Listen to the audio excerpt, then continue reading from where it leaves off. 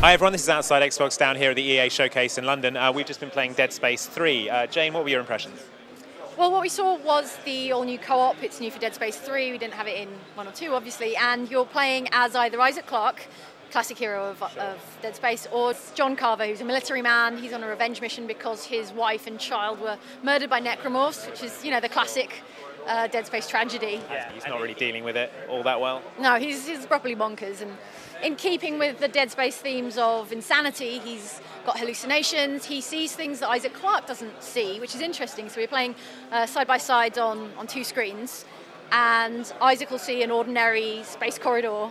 You know, space corridor. space corridor, and uh, John Carver will see like a big toy toy soldier, such as was played with by his dead son. Right. And, and, that will trigger another hallucination where Isaac's face will turn into the face of his dead wife, for example. Quite, quite.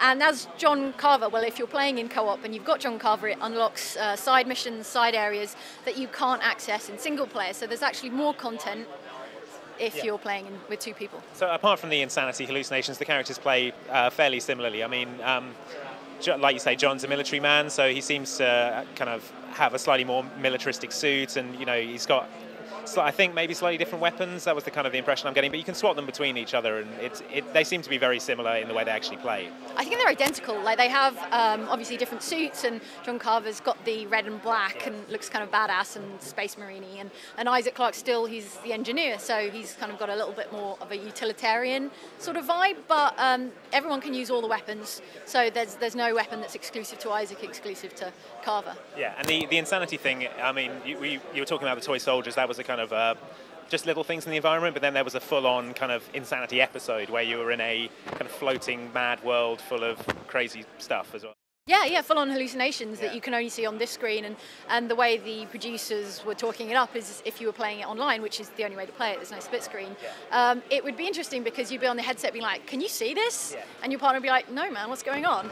And that's interesting. And, and there's been a lot of skepticism. I've been skeptical about having a co-op partner in a game that was, you know, a, a horror game, and, and I think it's intrinsically whatever they say is going to be less scary playing with another character, yeah. but uh, as a trade-off, you've got these hallucinations and and like you said, that in itself can be pretty scary or at least interesting. Yeah, I mean, it has the potential to be quite one-sided though. If only John Carver is seeing the, the scary stuff, then Isaac's having this very kind of normal linear adventure, whereas the person playing as John is having this crazy ass hallucination. It does seem like it might be slightly unbalanced, but then there, there's some of the stuff you can see on Isaac's screen as well. It, it, it, didn't seem to be that clearly defined as to who could see what. Yeah, well, also that was in this demo. I would like to think that they'll play with it a bit more and give Isaac some spooky stuff and, and then give Carver some stuff as well. And or the alternative is that Isaac's actually the saner one in this game, which would be yeah. interesting because traditionally he's mad, plagued by right. ghosts or nightmares and marker hallucinations. Yeah. And it would be interesting if this time around he's the sane one. I heard him say something to Carver. He's like, "You've just got to ignore them. They're not really there." So he's he's like, "I've been there, man, and you've got to you've got to ignore all this stuff." So that's interesting. Also, my pet theory. Uh, look away now if, if you don't want the- theoretical spoilers. I might be right. I might be right. Could My be. theory is that John Carver is a Tyler Durden like character he's so much the archetypal space marine soldier that I think he's in Isaac's head. Isaac is not. It's not unknown for Isaac to have other characters in his head that aren't really there, that you know, um, are conjured up by the marker. So my yeah. theory is that John Carver is a bit of a Tyler Durden. He's his imaginary friend, yeah. and so he thinks he's progressing through, you know, a level through a facility with a co-op partner, but in fact, it's all all in his head. Turn it off. Hey, Isaac turn it. Isaac? Carver, what's going on? Hey!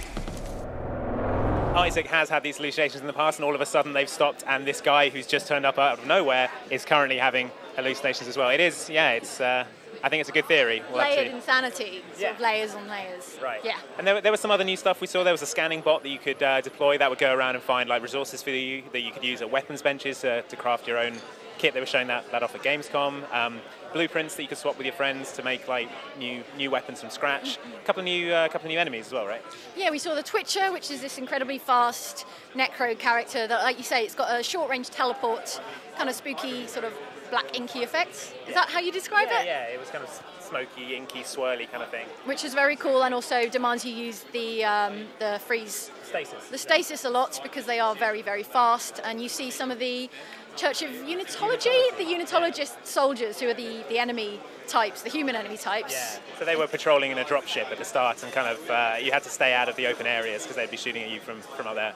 Right, and we see some of them on the ground and they get stabbed up by twitchers. Uh, but no fighting, no no shooty fighting with human enemies in this demo, which was good to see um, because yeah, that's not been received so well. I'm not Yeah. so not so pumped to be shooting people in a third-person right. shooter type game. Because they're maybe addressing the kind of the criticisms people had of that by going, look, here's a proper kind of spooky horror section. Yeah, well, I'm, I'm actually pretty interested. From this demo, I'm, I'm a little more optimistic about Dead Space 3 than I was after Gamescom, just because the hallucination, insanity, sort of asymmetric thing is quite interesting, and I am. I'm interested to see what they do with it. If they can be inventive, if they can, I don't know, like you were speculating on what they could do with it. Yeah, I mean, they could, you could do all kinds of things, all kind of meta game things where you, like uh, the the kind of false crash in Batman Arkham Asylum, or any of the stuff from Eternal Darkness, uh, Sanity's Requiem on the GameCube, even like Psycho Mantis style stuff from Metal Gear Solid, where you kind of take the uh, the hallucination element out of the game and into the almost to the real world. I mean, that would be super interesting. I'm not sure if they're going to do it, but uh, there is the potential there. So. That's one for the wish list. Yeah. So that's uh, Dead Space 3 down here at the EA Showcase. Check back on Outside Xbox for more previews.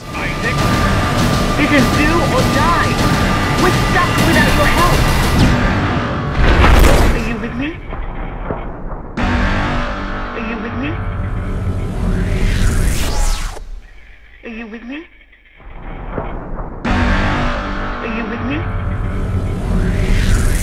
A bit. In fact, it's all, all in his head. So Dead Space spoilers and Fight Club spoilers there. Um, but it, yeah, so.